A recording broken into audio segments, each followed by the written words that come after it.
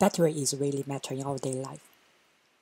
It's an EV, your smartphone, your laptop, space station, or another thing powered by electricity. Hi, I'm Yi. This summer, I work with Dr. Penghao Xiao on topic of electrochemical impedance spectroscopy, or simply EIS. What is EIS? This EIS, this, this, this, this, they all EIS. It's just a curve, can have any shape.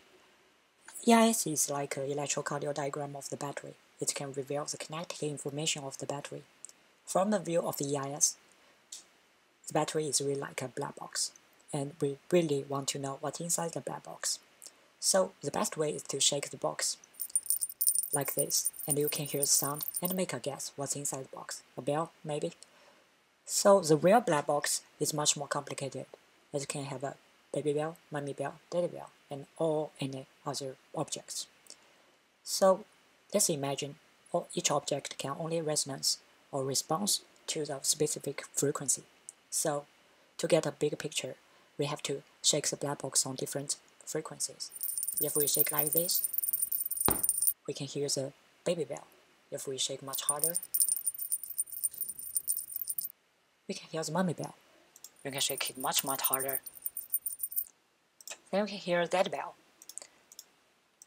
So the real EIS measurement is to apply some input signal. This is like how we shake the box and get the output signal from the black box. It's like the sounds from black box. We combine them, do the Fourier transform, and get the EIS.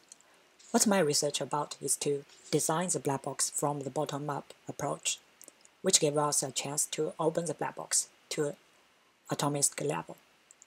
We really focus on the nearest neighbor of each lithium ion. And of course, between ions, they have interactions. It can either be repulsion, attraction, or any combination of them. Then, it will give us different picture of the EIS. This is a real re simulation result. We can find some trend from different interaction intensity. Our final goal is to find an empiric formula which involved all the parameters we know, like daily interaction, surface barrier, and all other parameters, to describe the EIS. Imagine one day you got EIS from the experiment, and from our formula, you can get some sense of what atomic level activities involved, like the lithium attraction, like the surface charge barrier. And all this understanding from atomic level can help improve batteries in a fast pace in the lab, detect a failure earlier in electric vehicle to avoid catching fire, even advance the fast charging technology. Thank you.